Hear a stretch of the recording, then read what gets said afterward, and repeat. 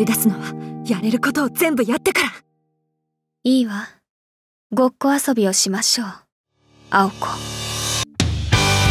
惜しみはなし。目いっぱいぶん回すわ。後悔がなければいいけれど、先のことは誰にもわからないから。私はただ青崎の家を継いだだけだもん。使う気もないわよ魔法なんて。あの子が困ってるって聞いてね。先にそのお兄さんから始めても構わないよね。呆れた。逃げられると思っているの？瞳子さん。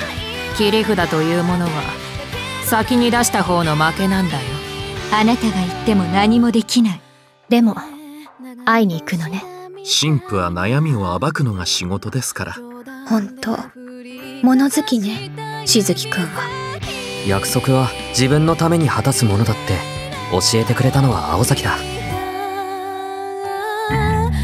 あずっと俺はそうしたかったんだ。